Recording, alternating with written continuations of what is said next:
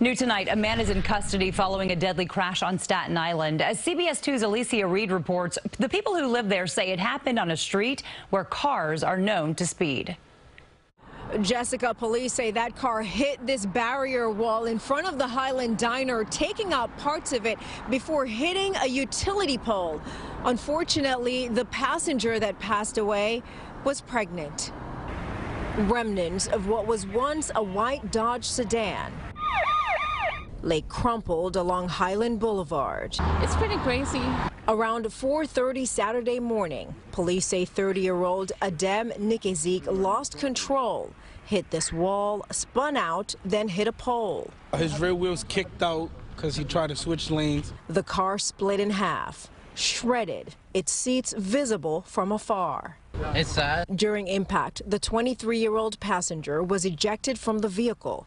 She was pronounced dead at the scene. It's so sad.